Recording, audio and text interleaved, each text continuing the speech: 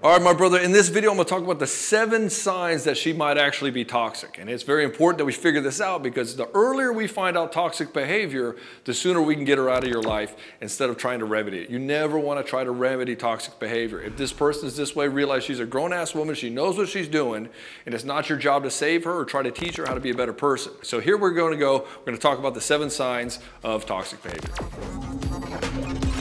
Number one, She's never accountable for anything. She takes no responsibility. She's always the victim. And as such, bad luck always seems to follow her no matter where she goes. Her car gets broken into her. She loses her phone. Phone screen gets cracked. Somebody's screwing her over at work. Her boss doesn't like her. Her girlfriend Stacy just said that she doesn't like her anymore. She has a falling out with her family. She has a bad relationship with her. It's never ending. You're like, okay, she's having these problems in life. Maybe I can help her out. Maybe I can be be there for her and stuff. And that's cool and that's admirable, but the problem is is now you're starting to put your entire life around her. And before you know it, everything's about her. Why? Because she has a never ending list of problems and she's always the victim. And when you try to bring this up that maybe she was the problem, she snaps your fucking head off. So you start noticing this kind of behavior, there's no point in having a discussion. Just break up with her and leave. The fastest way to get anybody obsessed with you is to give them mixed signals when they like you. So when you start dating a woman and you're getting all these mixed signals, one day she likes you, one day she doesn't, one day she's all over you, then she doesn't call you for a week, and you're like, what's going on here? And you find yourself thinking about her over and over and over again, and then you bring it up. Hey, I'd like to see you more. Just realize she's playing this game of mixed signals with you, and she's trying to get you obsessed. Why? Because she likes the attention.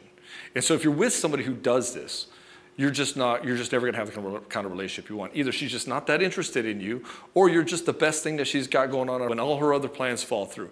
Don't be that guy. You want to be the guy who she's all in with. It needs to be hell yes or hell no. When you come up with a woman who gives you mixed signals realize one she's either manipulating you or two she's just not into you Remember, a woman who likes you makes it easy. She will make herself available to you. She'll kind of orbit you socially in your social media platforms and stuff. She will be available to you. She will essentially open the doors for you to ask her and take the initiative and make it, make it happen. When the relationship is hard to get her attention, it's hard to get her on a date, hard to get her to do anything to spend time with you, realize that look at her actions, she's not that into you or she's giving you mixed signals to get you to manipulate you because she wants something from you. If she's jealous of other women, which is number three, Start looking, start looking out for this. A woman who's secure in herself, who's whole in herself, secure attachment, she's not going to get jealous of other women unless there's a reason she should be jealous. In other words, this other woman is actively flirting with you and you're just not noticing it or you're getting you're siphoning validation off of it and she's saying, "Hey, this is coming between us and I don't like this." But if she finds that she's jealous of other women all the time like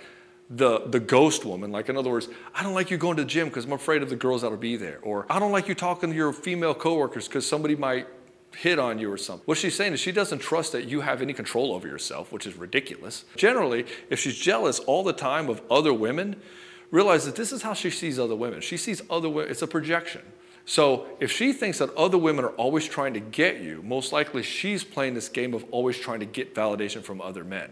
She starts accusing you of who you're dating or who you're talking to or who you might be entertaining, just realize that she's probably doing the same thing in some form or fashion. And it's a huge red flag. If you're a trustable guy and you're not trying to siphon validation off of other women, just set a hard boundary like, I'm not doing this and I don't, we don't need to have this conversation. Because again, she's a grown ass woman. It's not your job to make her feel safe in this regard. It's her job to deal with her own psychology and her own inner issues. Now, if she says, hey, I tend to get really jealous and I want you to know that that happens sometimes. So if I freak out, just realize that just I'm just having a moment and just like just be with me for a minute. That's different. This is a conscious person who's being aware of her feelings and just telling you what to know about ahead of time versus somebody who's coming in and just starts throwing accusations at you and making demands on who you act with and who you do it with.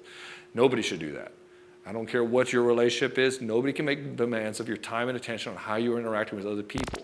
So some people are very envious. And envy is one of the more sinister human emotions. You'll find envy when, let's say, you feel like she doesn't really want you to succeed or she's competing with you excessively. Like a woman who supports you and loves you is going to be happy for your success. She's not going to compete with you and she's not going to get jealous when you win and she's certainly not going to sabotage it. So if you start seeing that she's starting to sabotage your behavior or your, your wins or she just can't be happy for you, realize you're dealing with an envious person and that really you're not in a relationship with her, you're in a competition and she really wants to secretly see you fail. And that will never be a kind of relationship where you can really open up and feel um, accepted by her. You're always going to feel judged and rejected on some level. So it's best to just eject as fast as possible. Now, some toxic people want to control where you go and where, why you go there and who you go there with because they falsely think that if they can control you, they'll feel safe. In other words, they're trying to get themselves to feel safe because they feel like you're going to abandon them or they feel insecure, they don't feel attractive enough, and they think that you're just going to be whisked away at any moment by somebody better than them. It's this sense from them of just not being enough. But instead of going within and trying to deal with it within themselves, what they end up doing is they go after you and they try to get you to change.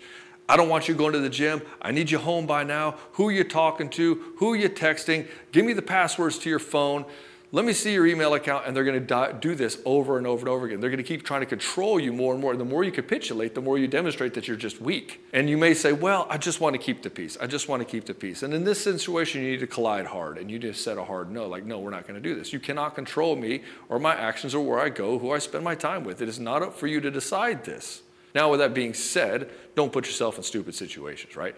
Don't be hanging out with that woman after work that's obviously into you siphoning that validation off of her. Don't be untrustable.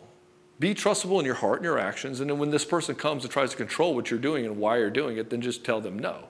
And then go do your thing. So if you're finding somebody that's really controlling, it's probably best that you start working on your exit strategy immediately. Look, brother, some women are going to push for you to spend money on them early on. They're to come at you. They're going to say, I love you. You're awesome. You're everything I ever wanted. They're to touch on you. They're going to tell you how great you are. They're to stroke your ego. They're to show you off to all her friends and family. And then her problems are going to come up and she's going to start asking you for money. Usually going to start by complaining that she doesn't have enough money to buy tires for her car or that she doesn't have enough for her bills. And before you know it, you're paying one bill to the next, to the next, to the next. That kind of manipulation is called the foot to door technique, where they get you to do one thing so they can get you to do all the things. And they just get, it's a slippery slope going through all of these things. Now, when a woman does this, she's trying to get you to pay for shit for her right early on. Realize you're doing marriage material to somebody who's just a girlfriend. Never treat a girlfriend like your wife. Your wife course you're going to share expenses. Of course you're going to buy her things. Of course you're going to do all these things of your time and attention. But if she's not your, your wife, don't treat her like one. Treat her like a girlfriend. And girlfriends are always being vetted to see if they truly are who they say they are. We look at her by her actions, not by her words. Then the last one is that she's going to try to move the relationship really fast. And this is a big red flag with toxic behavior. They'll try to push the relationship as fast as they can because they know that the faster they can get you hooked, the faster they can extract from you. The more they get you hooked where you're like, this is my girl, I'm going to marry her, she's amazing. Then she can start inserting all the bullshit and start telling you how awful you are. And the only way to get back to where you were, that awesome place, is by doing things for her, by giving up your phone, by getting rid of all your female friends, by giving her money, by what, insert whatever the ever moving goalpost is. And once she does this, it's again, it's the foot in the door technique. It's a slippery slope. Before you know it, all your life is revolving around her. She has endless amount of problems. She's got endless amount of money she needs, and it's just a black hole of your time and attention trying to get back to that massive, that amazing honeymoon phase that you just can't seem to ever get back to. Just realize this is by design, and this is a toxic, manipulative person. You need to end it immediately. All right, brother, that was the seven signs of a toxic woman early on. If you can find out early on that this woman's toxic, you can end the relationship immediately. And trust me, you cannot make this better, nor should you. It's not your job to fix a woman's psychology or to be her savior or white knight. Remember, the knight dies for the princess. And then she goes and gets with a prince when, who becomes a king. Don't be a knight, be a king. If you like this video, hit the like button, hit subscribe if you want to see more, and hit the bell if you want to be notified the next time I make a new one.